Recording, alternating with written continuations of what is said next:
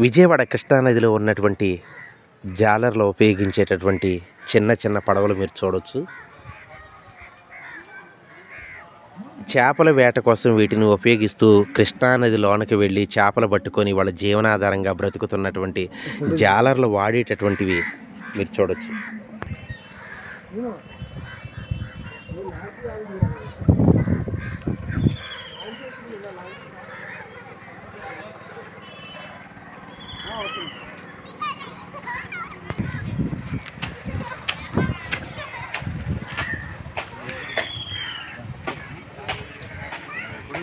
ఈ గంగామాత ఒడ్డున నాగిని దేవతలను ఇలా మరి స్మరించుకొని జాలర్లో మరి ఆ యొక్క కృష్ణానదిలోకి వెళ్ళడం జరుగుతుంది. వెళ్ళి చేపల వేటకు వెళ్ళి విజయవంతంగా చేపలు పట్టుకొని వచ్చి వాళ్ళ జీవనాధారాన్ని కొనసాగిస్తూ ఉంటారు. ఈ అట్మాస్ఫియర్ అయితే నాకు చాలా బాగా నచ్చింది. కృష్ణానది ఒడ్డున ఉన్నటువంటి అట్మాస్ఫియర్ ఇది. ఈ చిన్న చిన్న కొట్లు కావచ్చు ఇదంతా సూపర్గా ఉంది అట్మాస్ఫియర్